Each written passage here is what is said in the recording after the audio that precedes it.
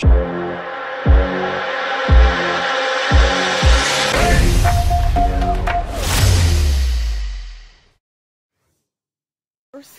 come home today and this is what I find.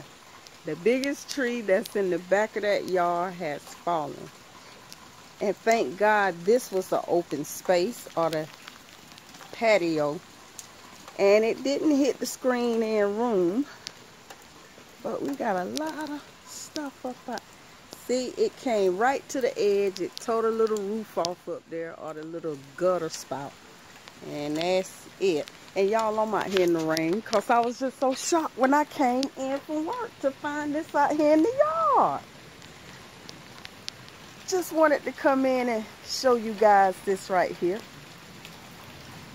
The hazards of having trees around you or surrounding your house.